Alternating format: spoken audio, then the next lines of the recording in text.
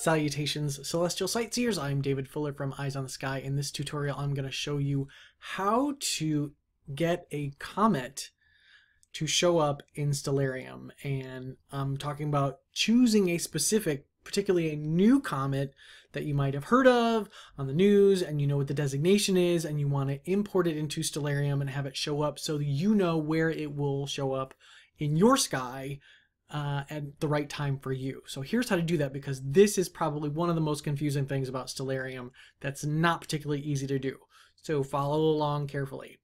What we're going to do is we're going to go over here and click on our configuration window. And you can see how there's a bunch of tabs across the top. We're going to go to the plugins. And we're going to go all the way down to Solar System Editor. Okay? So plugins over on the left, scroll down, Solar System Editor, and then click on Configure. Now my load at startup, that has just always been on there. You might need to check that, and if it says that and it's not checked, check it, close Stellarium, go back, and so that it, it reloads. So now that we're back into this, we need we can see how there's three tabs across the top there. You're going to click on the solar system tab.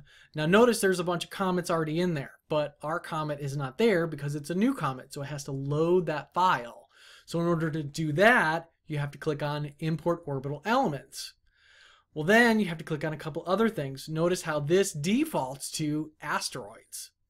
So we actually want that to be comets because if you do asteroids and you try to select from the bookmarks, you're not going to get the right information.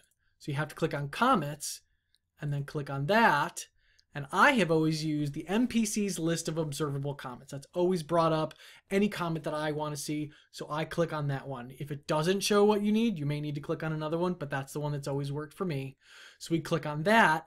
Now you have to actually import that particular list. So you click on get orbital elements and then a list of comets shows up and you can see there's Halley and Encke and a whole bunch of other ones. Well, the one that we probably want is likely way down on the list because it's going to be a relatively new one. And you can see you go through a whole bunch of dates, 2016, 17, 18, 19, and now we want to go up. Let's say, uh, for example, there, I know that there's a relatively new one out there, at least as I'm making this right now, called Comet C 2020 F3 Neowise. So let's click on that one, and we want to do Add Object. So we wait for that to add the object, and once it's added it, we can close everything. We can close this. We can close this.